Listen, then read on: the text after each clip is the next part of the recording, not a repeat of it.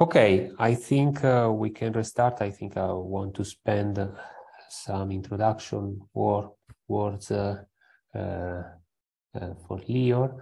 Uh, Professor Leeor Kronik is presently a faculty member of the Weizmann Institute of Science uh, in Israel.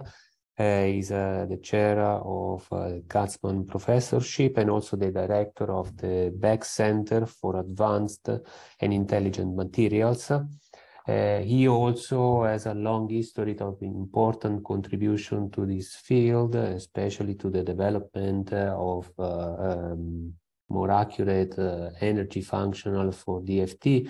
And he's certainly one of the main developer and expert of uh, hybrid functionals, um, maybe which uh, he will talk about today. Uh, and this uh, gave him the opportunity, of course, uh, to contribute in many fields, in many for for the study of many technologically relevant problems and fields.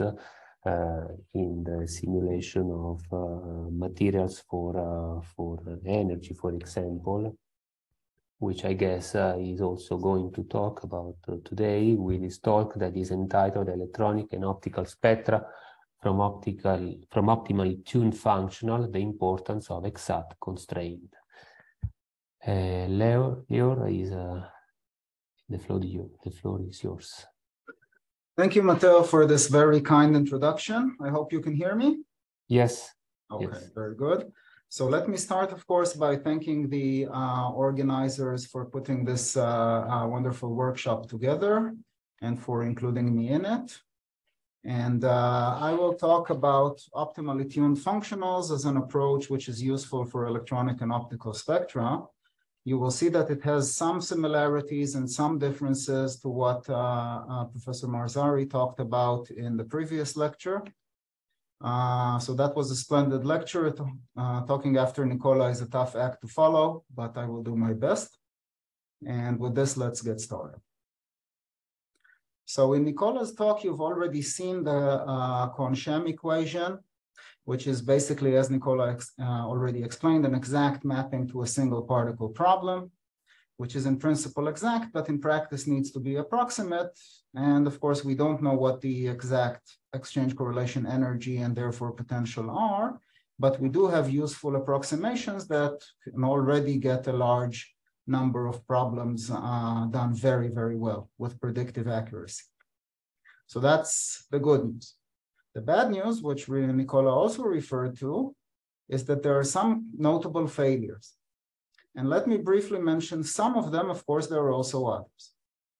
One of them is the so-called band gap problem. And that is that if you look at the Kohn-Sham gap, namely the difference between the energy of the highest occupied orbital and the lowest unoccupied orbital, it is in principle not the same as the fundamental gap, namely the difference between the ionization potential and the electron affinity, even if you had the exact magical functional. And the reason is that there's this property of the potential that I will talk about a bit more later, known as the derivative discontinuity, which means that it jumps by a constant as we go across an integer number of particles. If I extract an electron, I approach this integer from below, but if I add an electron, I approach it from above. Therefore, this contribution is missing. And that means that the Kohn-Sham eigenvalue picture doesn't mimic the quasi-particle picture even in principle. So this was pointed out already in the early 80s, was a bit controversial for a while, but since then has been confirmed by a large set of uh, numerical calculations and by now is a consensus. So that's one issue. Another issue is that even when uh, exact theory should work well, approximations don't always work well in practice. So for example, a time-dependent DFT is an important extension of DFT, which is a ground state theory to the excited state. And in particular, using linear response, it is known to give good uh, optical absorption spectra for many molecules. But if we look at a solid, say silicon, we see that with a functional like PBE, there's a significant underestimate of both the indirect and the direct gap, which is consistent with my previous slide.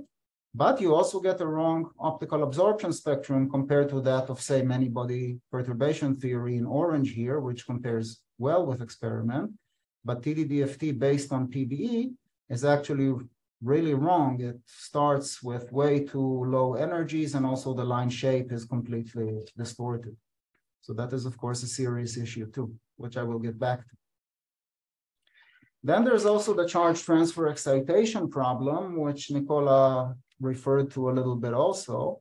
And that is that if you look at molecules, typical valence interactions can be well described, but then charge transfer excitations, for example, in this model dipeptide from David Tozer and co-workers, if you look at excitations corresponding to transfer of an electron between one unit and another in this dipeptide, they are actually seriously underestimated with standard functionals by almost a factor of two compared to what you get, say, with a good uh, wave function based method.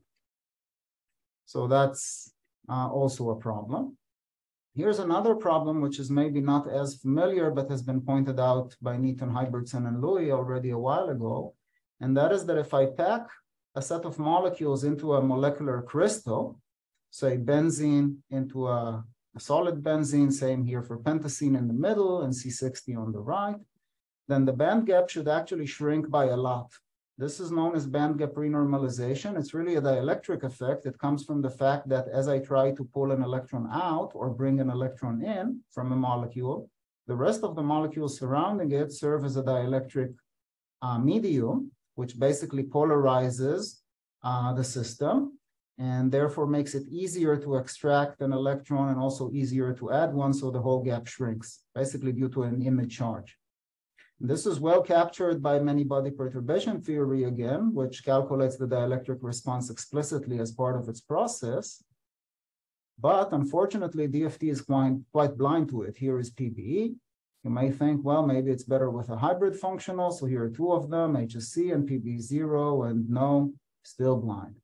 You can get sometimes accidental agreement, depending on the material and the functional, but it's generally a cancellation of errors between a band gap that is too small at the molecular level and the lack of the of being able to follow this renormalization. So what we've discovered over time, I don't think we understood it right away, but over time we've discovered that using an approach called optimal tuning, we can actually offer a unified approach that can solve all of these problems, even though they seem to arise from different origins. And the approach rests on three principles, which I will now describe. One is generalized Kohn-Sham theory. The other is insisting on the exact asymptotic potential. And the third is, the, is insisting on the ionization potential theorem. So let's go one by one. What is generalized Kohn-Sham theory? The easiest way to understand that is to think about standard hybrid functionals. In a standard hybrid functional, we have the same kinetic ion and Hartree term as in the standard Kohn-Sham equation. But then we only include a fraction of semi-local exchange and a fraction of explicit Fock exchange, which is a non-multiplicative operator. It's an integral, like in uh, Hartree-Fock theory. And then there's correlation.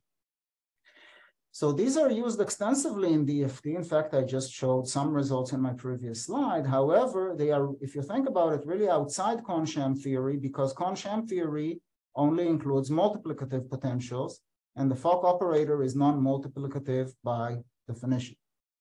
So initially this was thought to be, yeah, well, yet just another uncontrolled approximation on top of the formal framework. But it turned out a few years later, and the fundamental paper here is this Seidl et al. paper from 1996 that actually there's a generalized theory which would map the original interacting system not to a non-interacting system like in the Kohn-Sham case, but rather to a partially interacting electron gas, but one that is still represented by a single Slater determinant.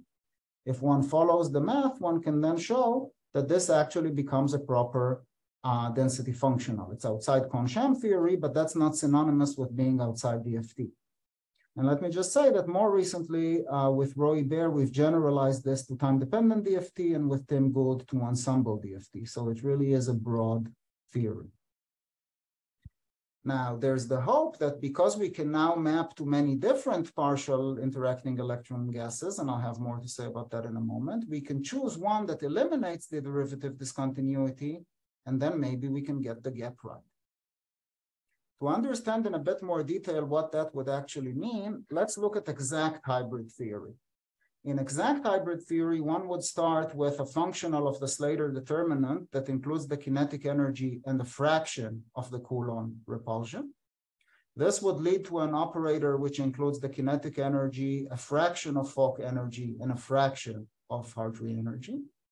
And then generalized Kohn-Sham theory really says that there's a another uh, additive potential, which is known as the remainder potential, which one can add to this and make the theory exact again in the usual DFT sense, in the sense that the density coming out of the occupied orbitals will be the same as the density of the original system. In fact, in approximate hybrid theory, we choose to approximate this remainder functional as the remaining part of the Hartree operator, and then the remaining fraction of semi-local exchange, and then semi-local correlation. So how does this work in practice? We can take a simple system like this closed shell F minus IM, and we can solve the generalized Kohn-Sham theory backwards. In other words, take a high quality density, in this case from quantum Monte Carlo calculations, and solve it backwards for many choices of alpha to figure out what would be the uh, remainder potential that would result in the correct density. And as you can see, it is quite a strong function of alpha. For alpha equals zero, which is really the Kohn-Sham system, it is one thing. For alpha equals one, which is full Hartree-Fock plus a remainder potential, it is another thing. So which one of those is the correct one? The blue, the green, the red? Well, the answer is actually all of them. All of them conspire with a different way to Fock exchange to produce the right density. And this is what I mean by having flexibility in the mapping. So, okay, so I have flexibility in the mapping, but still, what would I choose, for example, to get the band gap right?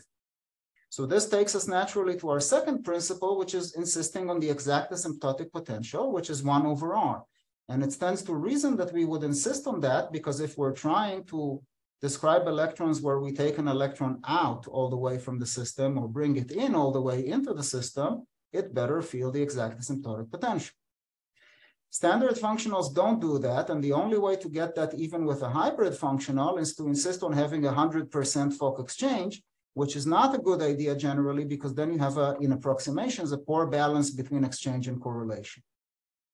So that brings us to another key concept, and that is the range-separated hybrid functional, which is a lovely idea due to Andreas Savin, which starts with a very simple realization. It says that, well, we can take the Coulomb repulsion, and we can basically uh, write it as a sum of a short range term and a long range term, for example, with the help of the error function, which is only significant in the long range, and the complementary error function, which is only significant in the short range. Now, as written, this is nothing more than a trivial identity because the error function and the complementary error function are one by definition. But now we will treat the two parts differently. We will treat the long range part with Hartree-Fock theory, so basically insist on 100% Fock exchange. And we will treat the short range part, say, with GGA theory, so we will retain a balance of exchange and correlation where it matters, which is mostly in the short range. This leads us to the following generalized Kohn-Sham equation, which is the usual kinetic ion and Hartree term, and then only long range Fock exchange, only short range GGA exchange, and uh, correlation. So this actually gets the correct asymptotic potential by definition while still retaining reasonable correlation. Now here we still have a question, and that is what's short, what's short range and what's long range, or in other words, how would we choose this parameter gamma? Well, it can be done by fitting to some thermochemistry set, and this is in fact what was done in various ways in some of these early papers that are cited on the slide. But A, this uh, is still empirical, and B, I will show you later that for uh, spectroscopy, this is not good enough. So then there's a question, well, how would we do that? So for that, we return to our triangle of uh, three principles, and let's now discuss the one that we haven't so far, which is the ionization potential theorem. So what is that? So Nicola already introduced the requirement of piecewise linearity.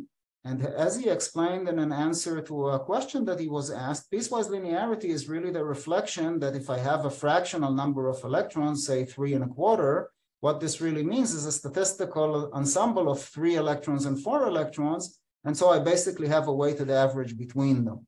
That's basically the gist of it. The proof given here by Perdew, Parlevy, and Balduz a long time ago is a bit more subtle, but that's the gist of it. And by the way, if you don't like ensembles, never mind, there is still a pure state proof given many years later by Weitao Yang and co-workers. And in this tutorial article that I wrote a couple of years ago with Stephan Kümmel, we uh, compare and contrast the two proofs. Okay, so if you buy that, then we also know that there's Janak's theorem, which says that the eigenvalue is just the derivative of this curve, the, or the leading eigenvalue, the highest occupied one, is just the derivative of this curve with respect to the occupation of that particular orbital. So the derivative of a piecewise linear curve is just a stair-step curve. That's really the demand for the constancy of, in this case, the highest occupied orbital that Nicola was also mentioning. And in particular, it means that the highest occupied value eigenvalue will just be the slope of this line here, which by definition is just the difference between the energy of the neutral and the cation. So basically minus the ionization potential. Now, this is uh, often called Koopmans' theorem because it is reminiscent of Koopmans' theorem in, in Hartree-Fock theory. I usually refer to it as the ionization potential theorem. It's really the same thing, but that's to underscore that here this is an exact relation. It's an exact theorem within an in principle exact theory, whereas in the original Hartree-Fock theory, this was an approximate theorem that neglected orbital relaxation within an in principle approximate theory, which is Hartree-Fock theory. So how would we go about using that idea? So this brings us finally to the concept of optimal tuning, which I started exploring in a wonderful collaboration with Roy Baer and, uh, uh, and Tamar Stein, who was then a PhD student working with both of us. And so here's the idea. So I have this ionization potential theorem. So for each choice of gamma of the range separation parameter, I can go ahead and calculate the left-hand side, namely the highest occupied eigenvalue. I can go ahead and calculate the right-hand side, so the difference between the cation and the neutral, and I can ask myself whether they're, they're the same or not. If yes, I'm good. If not, I can keep looking. Now, there's no such theorem on the electron affinity, again, owing to this derivative discontinuity business, but I can choose gamma to satisfy a similar uh, constraint on the anion, which would mimic that, and then I have two conditions with one, one variable, so I can minimize it and say the least square sense, and I can pick a winning value. Now, the point that I really cannot emphasize enough is that by doing that, I am not fitting anything. I'm not fitting experiment. I'm not fitting uh, some uh, different theory, say quantum Monte Carlo or GW or whatever. All I'm doing is insisting on fulfilling an exact condition within my functional. So while I will get different numbers for different systems, I am tuning the range separation parameter, not fitting it, and this is not an empirical procedure. Let's see how it works in practice. So here's one example molecule, it's H2TPP. For the chemist, this is free base tetraphenyl porphyrin. For the physicist, well, it's a molecule, doesn't really matter for our purposes. And uh, let's see how it works. Well, so here's epsilon homo plus the ionization potential, absolute value of the thereof as a function of gamma. And you can see that there's a very clear spot where it goes to zero. Here's the same for uh, the anion. Here's their sum. And as you can see, there is clearly a best value. We call this the optimal range separation parameter. Once we found it, we will freeze it. We will not alter it again. And we will go ahead and calculate various quantities. So here we go. For this gas phase molecule, actually chose this one in particular because there were good reference data, both experimentally for the highest occupied, for the ionization potential, for the electron affinity, and also for the optical gap, which is the minimal energy required uh, to excite an electron. As you can see, the optical gap is much smaller here than the fundamental gap by more than a factor of two, and that is correct. That's because when I excite an electron, I leave a hole behind, so there is significant electron hole attraction, which lowers the energy. You can see that a many body perturbation theory approach, while expensive, captures that quite well, quite accurately. You can see that GGA actually, with time-dependent DFT, gets the optical excitation very well, but the eigenvalues are the HOMO and the LUMO are very far from the ionization potential and the electron affinity. And use of a standard hybrid functional like B3LYP makes this somewhat better. but far from great. Now, finally, with our optimally tuned range separated hybrid approach, so basically Savin's range separated hybrid, but with an optimal choice of the range separation parameter based on the ionization potential theorem, you see that we have everything. We have the ionization potential, we have the electron affinity, and we have the gap. Now, actually, the same thing, the same approach precisely with no change whatsoever fixes other issues. For example, it automatically fixes the charge transfer problem because we have the correct asymptotic potential. So we, we've done that actually early on. That was our original motivation. But here I will show you newer work, in this case from the group of Bredow at uh, Bonn University. And the reason is because, you know, one idea of a useful method is that others can use it too. So here, uh, Ziae, I hope I'm pronouncing it correctly, and Bredow are studying this very large complex, which has a large macrocycle in the middle and then some tail groups. And they find that there are two excitations, or experimentally, they know that there are two excitations there, one valence and one of a charge transfer nature, which is the one shown here, basically from the macrocycle to the tails, and they have similar energies. So they check what time-dependent DFT and with some GW methods, what would actually describe both transitions, and they find that only two methods are capable of that. One of them is GWBSE actually with some iteration on the green function, so not even a standard GW, which is not accurate enough. That's the one here. And range separated hybrids, but only with optimal tuning. If you take the same range separated hybrid, but without optimal tuning, actually your charge transfer state is way, way off. Whereas if you tune it, which is this value here, you're in business. Here's a second and, and more recent example from Ben Janesko. Uh, uh, Janesko looked at this particular pigment, which is a type of a perylene diimide, and it is known experimentally to fluoresce in the green. You can see the experimental color up here. So what Janesko did is he then took time-dependent DFT with a large uh, group of functionals. He calculated the optical absorption spectrum, and then there is simple software that takes into account the sensitivity of the eye and tells you what color it would actually be viewed as based on the optical absorption spectrum. And then he shows that depending on the functional that I would choose to use, I can go anywhere between rather a deep red and rather a deep blue, which of course limits predictive power. And uh, Janesko in his paper called this a rainbow of errors. But the idea here is actually not uh, to uh, disparage time-dependent DFT. On the contrary, notice that if you use this optimal tuning approach, which I just mentioned, which is this uh, line here, OTLC omega PB in this case, this is actually the one closest in color to experiment. The second closest is CAM-B3LYP, but that one actually doesn't capture uh, charge transfer excitations very well because it doesn't have full asymptotic exchange. So no correct asymptotic potential. So that's a bit about molecules. And now I would like to turn to the solid state. So we do that gradually. First, we begin with molecular crystals, which is kind of an intermediate case. I already showed you that we have this problem of lack of capture of normalization. In fact, this problem persists if we use our approach. We would get now the right molecular gap, but it would not renormalize. It would remain too high. Why? What are we still missing? Well, what we're missing is our second principle, the asymptotic potential, because we said that we must adhere to it. But if we have a solid, the asymptotic potential is no longer 1 over r with periodic boundary conditions. It's really 1 over epsilon r, with epsilon being the static dielectric constant.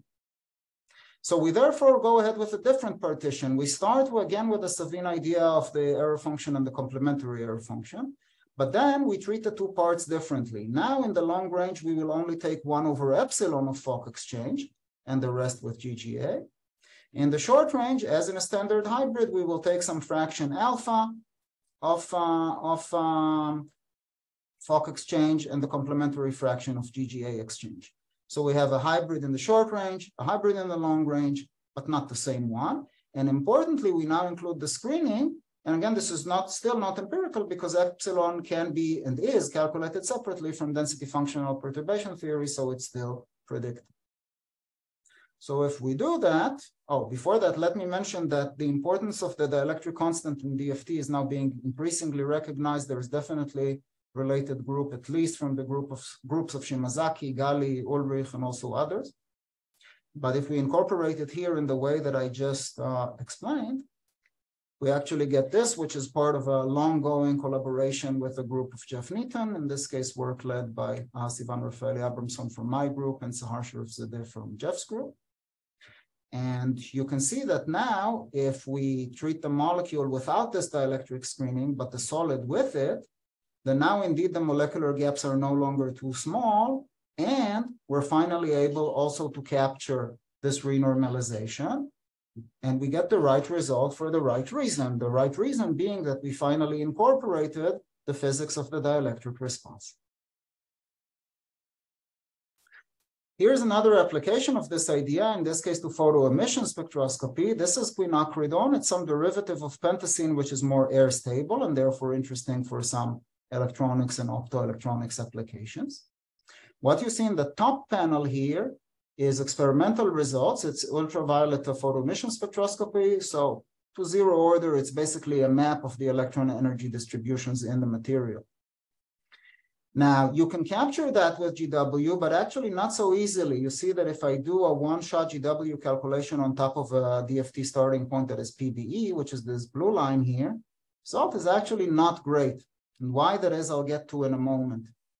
If you go to a hybrid functional like HSE and use that as a starting point, which is the bottom panel, the yellow one, that's that actually agrees well with experiment. With our optimally tuned screened range separated hybrid, we actually agree very well with experiment and with the hybrid functional if we, oops, sorry, if we include short range exchange. But we actually even reproduce the bad GW result if we don't, if we stick to alpha equals zero. Mean, not that there's any particular merit in reproducing a bad result, it just happens. So what's going on here? Why does a hybrid functional or a short or inclusion of, of uh, a Fock exchange in the short range, why is it so important here? Well, it turns out that this has to do with the concept of the self-interaction error that Nicola already explained in his talk, that electrons can be, uh, because of the Hartree term, uh, at least partly uh, spuriously repelled from themselves. And of course, there's no such physics. Electrons should be repelled from other electrons, not from themselves. So you know that in quantum mechanics, there's a long tradition of explaining everything with cats. Uh, we can do that here too. Uh, as you know, cats are somewhat like electrons in the sense that they don't particularly like each other's company. So here is physical repulsion uh, between cats. That's correct. And this is a self-interaction error. It's uh, being repelled from your own image, uh, which you're not supposed to do. And actually going back to the quinacridone, this is exactly what's happening. What's happening here is that some orbitals are localized, therefore they are repelled from themselves with the simple approaches. They get to be too high in energy as a consequence and they distort the spectrum. The inclusion of short range exchange does not eliminate that completely, but it mitigates it enough so that quantitative agreement with experiment can be restored and we can actually see what's going on. And in the sense that we can then interpret the spectrum fully and say which peak is comprised of which orbitals. By the way, for metal organic complexes, this issue is even worse, and then the correction that we use is even more important. I have backup slides that I can show you if you ask me about it later, but now I will just go on. Okay, so that brings me to another point about exact conditions. As you can already see, I like triangles. So we really identified three conditions that are crucial for spectroscopy that again were also mentioned in, in Nicola's talk. We want freedom from one electron self-interaction errors. We want to have piecewise linearity, and we want to have a correct asymptotic potential. Now, because if one disobeys any of these conditions, this can lead to delocalization errors. There is sometimes the perception that they are in fact the same, that they are various manifestations of the same condition. Now, that's absolutely not true. These conditions are not the same. How do I know that? Because again, in this tutorial article that I already mentioned, we show examples where we can obey one of the conditions or even two and still disobey the third. For example, in what I just showed you, the range separated hybrid, at least in simple form, is piecewise linear. It has the correct asymptotic potential, but it's not one electron self-interaction free. Hartree-Fock theory, for example, is one electron self-interaction free and has the correct asymptotic potential, but it's not piecewise linear. And one could go on and on. So are they related? Partly, and usually what helps one helps others, but they are not the same and they should be thought of separately. And I think that's an important point to make. Let me just mention in passing, again, I can go into more detail if you ask me later, but for molecular solids, we've discovered later that one doesn't even necessarily have to calculate a full solid. One can just immerse a molecule in a polarizable continuum model and get excellent results. But let me just mention it and move on for now with some references. So let's talk about a proper solid, a covalent or an ionic solid of, you know, of the types that, that Nicola showed in the previous talk. Well, can we use the same optimal tuning uh, criterion just over the unit cell? Well, not so easily, because here's what happens, and this is basically a variation. What you show here is a, what I show here is a variation of a proof first given by Weitao Yang's group a while ago.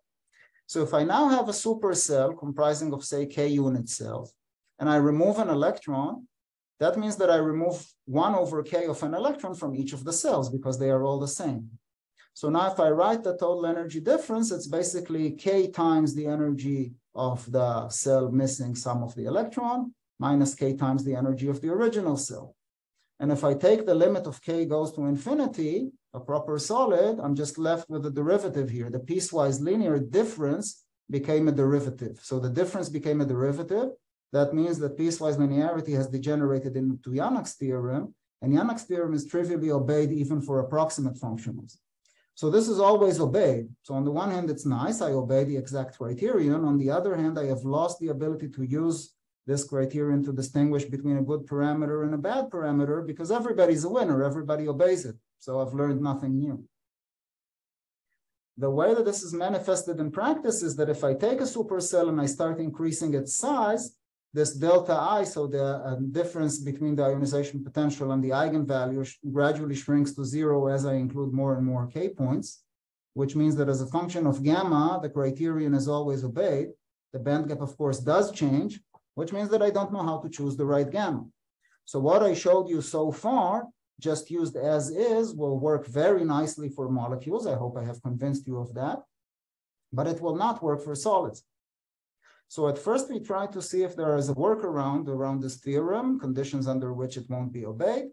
So we found two additional proofs of that in the process, one from ensemble theory, which is this middle reference here, and one from electrostatic considerations, which is the bottom reference here.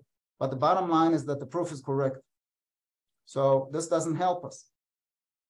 So what did we do? As a first step, we asked ourselves, okay, is this worth pursuing? In other words, suppose that just for the time being, we do fit the gap, so use a value of gamma that is known to produce the correct band gap, will that help for quantities such as the optical absorption spectrum? So we thought that the answer would be yes for the following reason, that with standard approaches, you have three major challenges. The uh, underestimation of the band gap, which I already mentioned, the fact that we don't have the correct asymptotic behavior, and that if you use correction terms, it's not so easy to describe to derive the correct exchange correlation kernel, which normally is just another derivative, but the question is what to do with the correction. Here we have a proper function, also it's easy. So this was pursued by uh, David Wing from uh, my group and uh, Jonah Haber from Jeff Neaton's group. And here you can see what I mean. You can, see, I already showed you in the beginning the optical absorption spectrum of silicon. I showed you that PBE is not a good descriptor. Now I show you that HSE, a hybrid functional, is not a good descriptor either because it doesn't have the correct asymptotic potential. It's better than PBE, but it's not great. If you use our approach, as I said, for the time being, uh, fitting the gap, so just one parameter, you see that basically uh, time-dependent DFT agrees very well with both experiment and many-body perturbation theory. Now, this is not a one-off success. In fact, we've seen it before in early work of Sivan Refaely Abramson on lithium fluoride, where it's even more spectacular, because there experimentally it is known that there should be a large excitonic peak at around 13 electron volts or so. GWBSE here in red captures it very nicely. But something like time-dependent LDA is a complete catastrophe. All you get is some smeared out uh, absorption spectrum, the agreement of which with experiment is best described as non-existent. And actually, if you use time-dependent DFT with the screen range separated hybrid, you're back in business with a proper excitonic peak. Same goes for band structures, very well described across a range of semiconductors. Same for optical absorption in other spectra. I show here the example of aluminum antimonide, which I chose because it has a high spin orbit uh, coupling which means that the first peak is spin orbit split into two peaks and it continues to be well captured. And overall, it seems like a good idea to do solids this way for both the band structure and the optical absorption spectrum. And the remaining question then is how to get this range separation parameter non-empirical. So this is newer work that was led by uh, David Wing and Guy Ohad. And it goes back to uh, Nicola's work about maximally localized Wannier functions, which in fact will be discussed uh, uh, later in this uh, workshop. There will be a lecture specifically on that later today, if I recall correctly. And the idea is the following. Remember what the problem was? The problem was that we tried to remove a delocalized electron because the valence band maximum of a typical solid is completely delocalized. And that led us into a vanishing uh, condition so we should stop doing that. And instead, what we choose to do here is to remove the maximally localized Wannier function, specifically the one that is highest in energy, instead. Now, this is not an eigenstate, which means that to remove it, we need to use constrained DFT, which we can do following a suggestion by Mind Wang in this paper from about six years ago. And again, this uh, leads me to another uh, relation between our our work and that of Nicola and also of Weitao Yang and Alfredo Pasquarello, and that is the importance of localization conditions, that it just won't work with a delocalized wave function. So we need to localize it somehow. We do it one way, Yang does it another way, uh, uh, Marzari a third way, Pasquarello a fourth way, but it has to be in there somewhere, somehow. So how we do it is with this constraint, as I mentioned. And then as an ansatz, we assume that now we will want to uh, enforce the same ionization potential condition, except now with this uh, removed Wannier function. And since it's not an eigenstate, the eigenvalue gets replaced by an expectation value. Well, if we do that, one thing we immediately notice is that now the condition is no longer trivially obeyed. In other words, if we uh, compute this and we ask ourselves, well, is it zero or not? Well, that would depend on your choice of gamma. Sometimes it is, sometimes it isn't, which is good because that means that we can pick a winner. Like before for the molecules, the winner is the one that obeys the condition. So now the sole remaining question is, well, is the winner one that really predicts good band gaps and good uh, optical excitation energies? And the answer is yes. So here we have a bunch of uh, semiconductors and insulators ranging from ones with really small gaps, such as indium antimonide and indium arsenide, and all the way up to large gap insulators such as magnesium oxide or lithium fluoride. And over this range of almost 15 electron volts altogether, if we compare theory and experiment, the mean absolute error is only 0.1 EV and the largest error is 0.2 EV for magnesium oxide, if I'm not mistaken. And what you see in this slide specifically is uh, the y-axis is the computational prediction from this Wannier optimally tuned screen range separated hybrid. And the x-axis is the experimental value corrected for uh, zero-point renormalization contributions. And so perfect agreement between theory and experiment would mean that we are on the y equals x line. And as you can see, we're pretty much there. More recently, uh, through further work of Guy Ohad and, and co-workers, we've been able to show that the same goes for halide perovskites, which are very interesting materials for solar cell energies, so for solar cell applications, so for energy applications. Again, same idea. We have a delocalized valence band maximum that doesn't help us. We take the maximally localized Wannier function. Now it is properly localized. And now we can get good band gaps and also uh, good band structures, which are uh, comparable to what one would get in this case from actually self-consistent GW calculations. Uh, more recently, this is actually, we're writing this up as I speak. If I now apply this to uh, optical absorption spectra, say of uh, oxides that are uh, optically important, such as zinc oxide, titanium dioxide, and alumina, We see excellent agreement between theory and experiment with no, no empirical parameters whatsoever and at a fraction of the cost of a GWBSE calculation, especially for zinc oxide, which happens to be a hard case for GWBSE, and here it's just another material really. And one more thing I would like to point out is that if you think about it in G naught W naught, so one so-called one-shot GW theory, there's always the question of what should we use as the starting point. And in this uh, recent work led by Stephen Gant from uh, Jeff uh, Neaton's group, we argued that in some sense, what we do is the optimal starting point because we already have something very close to the correct band gap. So from a simple logic of perturbation theory that says that, well, the closer uh, your guess is to the actual solution, the better perturbation theory would work. We expect this to be useful. So we did G naught W naught on top of various starting points.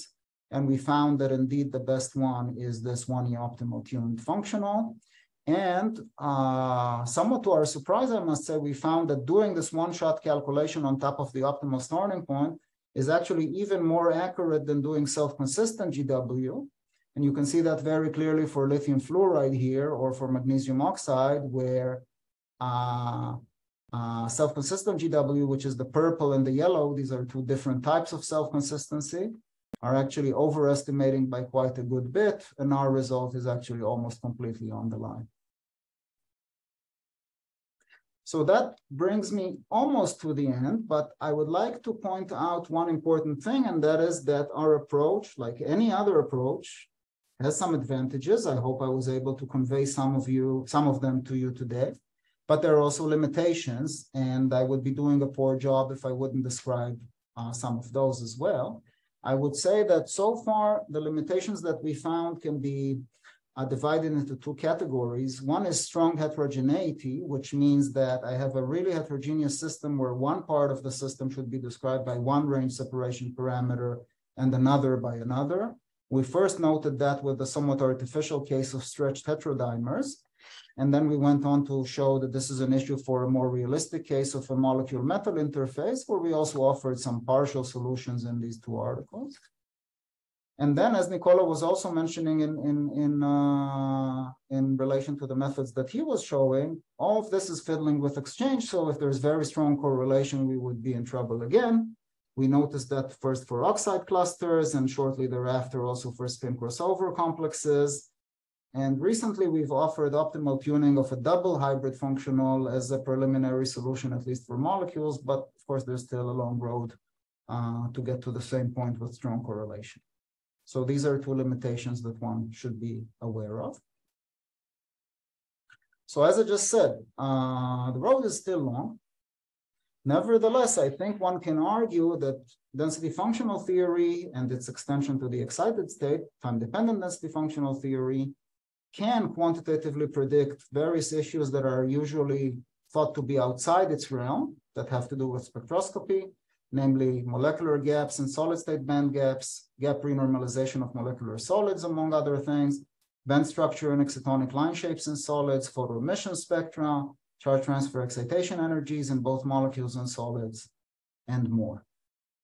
So with this, I will end, but not before uh, thanking the group, which of course are the ones that do the hard work that makes it possible. Some of the funding sources that supported uh, this work over the last 10 years or so, and of course you for your attention. And I'll be very happy to take questions and uh, points for discussion. Thank you. Thank you very much, uh, Leeor. And um, I will pass on to questions. I, we have a few questions from uh, from attendees. Uh, the first one uh, from Nicola Colonna um, says, uh, "Am I correct in saying that generalized Kohn-Sham theory can correctly reproduce only the HOMO energy or say frontier orbitals as in standard Kohn-Sham DFT, could you comment on the meaning of the orbital energy of states different from the HOMO or LUMO? Yes, thank you. That, that is a fantastic question. Let me uh, answer this uh, in two parts. First, rigorously, yes rigorously, we are enforcing our condition on the HOMO energy, and therefore the HOMO energy is where we are sure it will apply. This does not mean, however, that the rest of the eigenvalues have no meaning whatsoever. As we have seen, for example, in the quinacridone example, we can get the entire photoemission spectrum. Now, why is that? This actually goes back to a very interesting and long-standing debate within DFT, and that is what is the meaning of the other orbitals. So if you're a purist, you would say that they have no meaning because they are not exactly the ionization potential, and that is correct. That is in fact that has in fact been shown by Jones and Gunnarsson a long time ago. There's this picture which is buried somewhere deep within their uh, uh, overview article from 1989 and it compares VXC and proper self energies for the one case where we actually know the exact density functional, which is the uniform electron gas, because their LDA is not an approximation, it's actually an exact result. And you see that, well, the two curves are not the same. So VXC does not describe uh, the self interaction, I'm sorry, the self energy correction uh, correctly. However, you can also see that depending on the density, there may be a wide region near the Fermi surface where it's actually still a pretty reasonable approximation. And I would say that this is what really makes us successful in many cases. With your permission, let me show one more example of that. This is something that I mentioned briefly, but now allows me to uh, show it in more detail. So this is, for example, copper phthalocyanine, which is a fairly hard case for, because uh, it's been polarized and it's metal organic, and there are actually severe self-interaction errors, even more severe than in the example that I showed. And you can see that even with GW, where again, GW on top of PBE is a bad idea because it can't shake off very serious self-interaction errors. But with optimal tuning, we can actually get not just the homolumo gap correctly, we can get a very good description that is almost uh, uh, on the level of GW uh, over a range of several electron volts lower and higher than the highest occupied state and the lowest unoccupied state respectively. And we can really assign the spectrum that way. So I would say that this is a typical result. So to summarize in one sentence, this may be long answer to Nicola's question. Other eigenvalues beyond the HOMO and maybe the LUMO, if you've really minimized the derivative discontinuity, don't have a rigorous meaning, but they can still serve as very successful approximations, uh, especially because in the presence of the non-multiplicative operator, we're actually doing a better job at approximating the self-energy than with the Kohn-Sham potential. So I hope that was uh, uh, that answered the question. Thank you. Um, a second question uh, from uh, Aldo Ugolotti um, is, is the following. What about the transferability of optimized functionals? How strong is the dependency of the optimized parameters on the different chemical environments of the same atom? Right. Okay. So that's again an excellent question. And here I would say this goes to a, back to a more philosophical issue as well. So let me go back to that one second.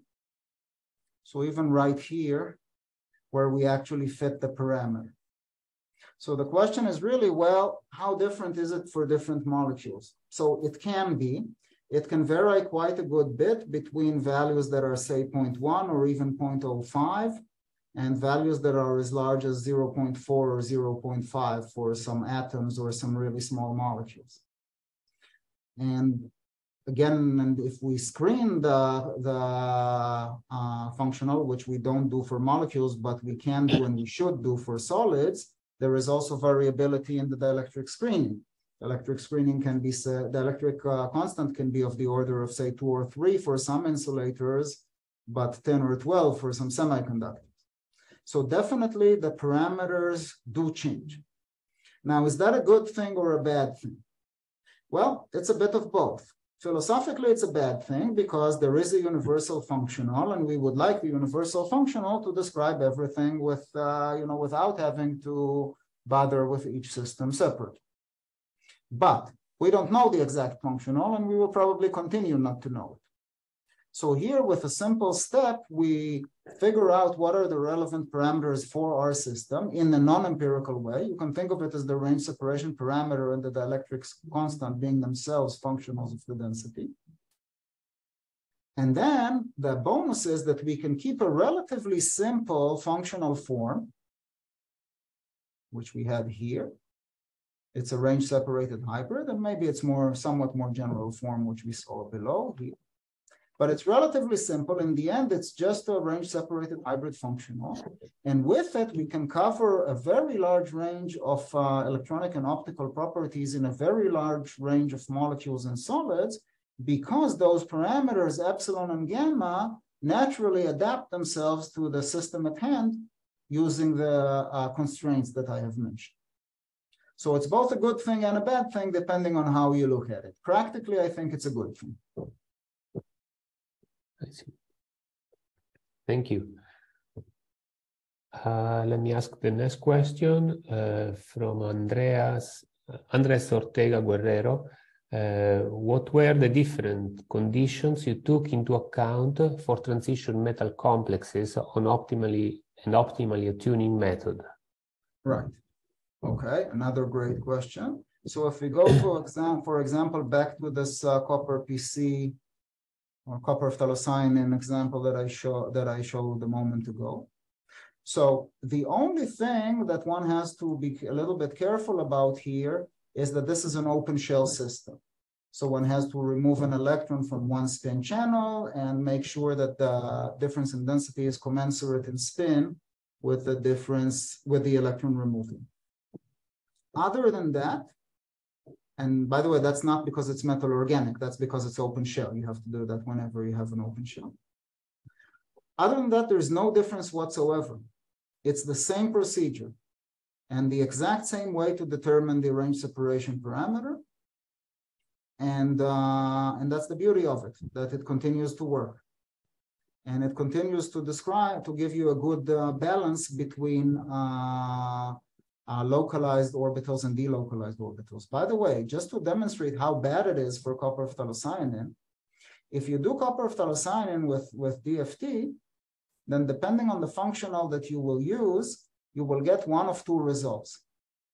Either the A1U orbital is on top and B1G is below it, so this one is the HOMO and this one is the LUMO, or the other way around. And commensurately, either the other spin part of the B1G is the LUMO, like here, or it isn't like here. Now, both can be justified chemically, but clearly not, not both of them can be correct. At most, one of them can be correct. So which is the correct one?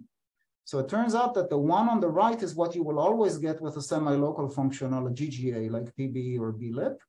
The one on the left is what you will get with a hybrid functional, almost no matter which kind. And basically the one on the left is the correct one. That's also the one that we predict with our range separated hybrid approach. And why is it? Because here there are really huge self-interaction errors amounting to more than one electron volts, uh, one electron volt with a GGA. And they are so large that they push this localized orbital so far high that it becomes spuriously the HOMO. And therefore it pulls its counterpart down to become the LUMO. Of course, it's pretty bad if you're trying to describe, say, the reactivity of a molecule that you misidentify both frontier orbitals. So this is an extreme example of a self-interaction error and how important it can be, and we discussed it in, in these articles down here. And again, in a, in a range-separated uh, hybrid approach with a non-zero alpha, it plays out naturally and you get the right answer for the right reason, and it agrees very well with photo emission and inverse photo emission. Very nice. Thank you. Uh, one more question we have from the audience, uh, uh, precisely from Manuel dos Santos Diaz. Uh, what if we don't know uh, at the start if the material is a metal or an insulator? What would happen if this formalism is applied to a metal? Right. So if we apply it to the to a metal, first of all, we will see we will well. There are two possibilities. If we use an enormous amount of Fock exchange, we can spuriously turn a metal into an insulator. We know that because we know, for example, that if we take Hartree-Fock theory and apply it to some metals, then the erroneous prediction is that it's actually an insulator. So if we use too much, we will clearly see that. But if uh, uh, we follow the procedure, we haven't done much of that yet. So some of it is speculation. I think we need to do more calculations to show this in practice. But we think it will just degenerate to a, either a tiny gap or a complete closure of the gap. And the reason I believe that to be the case, but that is because if I go back to this slide here, we saw that where we have cases which are almost metallic, here the gap is only 0.2 electron volts. So it's technically a semiconductor, but a really narrow gap semiconductor, which therefore has, by the way, applications in far infrared spectroscopy, uh, then we can still capture that. So we can follow the gap down to its closure. But we really do have to do some proper metals to show that this is really happening in, in practice. It's on our to-do list. Thank you. I think uh, we are done with questions from the the audience. Uh, he, uh, since there is more time, I will ask uh, one or two questions myself. Sure. So uh, you talked at the beginning uh, about generalized Kohn-Sham theory. Mm-hmm. And uh, as far as I, as far as I understand, the multi-reference nature of the wave function, possible multi-reference nature, is still inside the correlation term, right? Uh, it's not explicit, explicited in any term. Uh, That's uh, right. In other words, if I go back to that slide, yeah, here it is. Well, yeah. at least for the sim, well, no, this one. Yeah. Exact hybrid theory. One can also do in a similar way exact a range separated hybrid, but let's settle for this. So indeed, the basic idea of mapping to a single Slater determinant is still there. Yeah. And all of the correlation that was previously, well, basically in V correlation, and mm-hmm. maybe somewhat in V exchange, depending on how exactly you define correlation, all of this is now in this remainder potential. Yeah, but is there any general scheme to, you know, to build a generalized Kohn-Sham theory where you take uh, some explicit account of the possible multi-reference nature of the wave function. So what you can do, and we've done a little bit of that, we're getting started, is to uh, marry generalized Kohn-Sham theory with ensemble DFT. Because okay. ensemble yeah, DFT, yeah. in this case for, for excited states, so the so-called Gross-Oliveira-Kohn ensemble, is the one theory that really lets you treat uh, multiple configurations. Yeah. And then you can combine that with generalized Kohn-Sham theory. There are some complications in how it's it's done, but it can be done. And, and actually in this JChemPhys paper, we show the relevant proofs and some numerical examples. Very nice. So I think that's where you want to go if if you're, you know, uh, if you're facing issues that require this type of treatment but that's in very early stages of development. Yeah. Another question I have is on the pigment system. The on one sorry? The, the, the pigment, uh, the mm-hmm. rainbow um, error that you right, mentioned. So this one. So in um, in a paper by Stefano Baroni's group, uh, there was uh, also a study of a pigment, and they show that the basically the absorption properties uh, critically depend on the on uh, configuration explored uh, in water environment. Do you get the same here, or uh, or it, the result is independent of what the conformation of the molecule is? Right. So in this case, well, this this is not my work, but as best I remember from reading this paper, in this case, the effect of the environment was much weaker. But in principle, you're absolutely right. And by the way, this is a common source of, of mistakes that people make when they compare theory to experiment. That they do say a gas phase calculation, yeah. which may be perfect as far as the electronic structure of the gas phase is concerned, but then they compare it to either a solid state experiment or to an experiment in solution where the solvent say can be polar or it can interact chemically with the molecule and makes a difference. And then they either reach the conclusion that the electronic structure theory was not good when in fact it was, or there is some cancellation of errors that cause accidental agreement and then one gets maybe the right answer but for the wrong reason so one i totally agree with you that one has to be really really careful and when comparing theory and experiment make sure that they are under comparable conditions as much as possible thank you uh, maybe i can ask one last question sure please um, this sort of philosophical one. Um, so you show the necessity of using uh, Wannier function and localized basis set in order to to approach a problem in uh, uh, you know extended uh, periodic system. Mm -hmm. Doesn't that bother you? I mean that the way that the, the fact that uh, you know you have to use a specific uh, basis set and not and so doesn't that bother that you cannot write uh, your correction uh, in uh, in a general enough way to to work well with any basis set? Or so first of all, yes, it does. Yeah. Uh, but I would say two things. First, we found that this in practice works very well. Uh, and we think we understand why, because we have to get away from the delocalization. In our experience, I would say there are several things going for this though.